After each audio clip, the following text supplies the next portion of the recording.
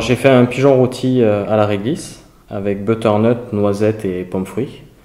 Donc euh, c'est quelque chose qui s'accordait très bien avec le, côté un petit peu euh, sucré de la pomme et, le côté noisette avec le pigeon. C'est un accord qui était, sympathique avec du coup la texture avec le croquant et, le fondant.